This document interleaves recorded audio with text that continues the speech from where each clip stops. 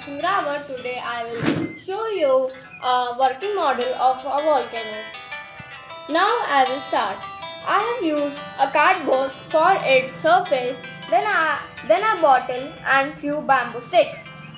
Also I have used POP and cloth to give it a look just like a volcano.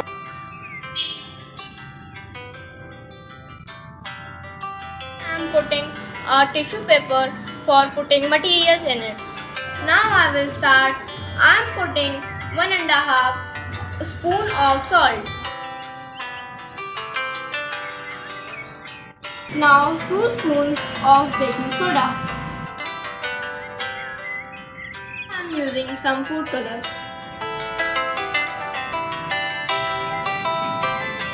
Dishwashing liquid. Last I am pouring some vinegar.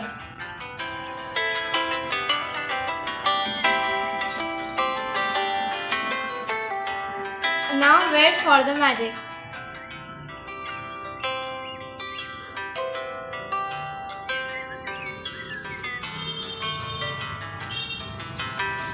See the working mo- model of volcano.